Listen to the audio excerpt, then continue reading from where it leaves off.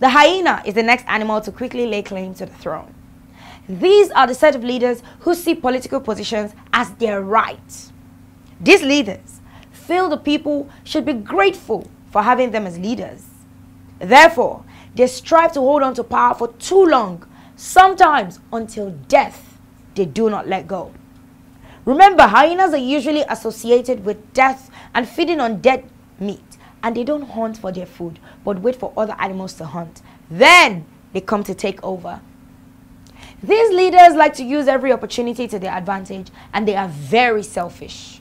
No wonder Niyi Osundare reminded us about the bad side of the hyena. Lastly, these types of leaders will bring with them wars, chaos, tribal disagreements, religious discrimination, and other forms of destruction instead of peace, unity, growth, and development associated with good leadership. See you in the next class.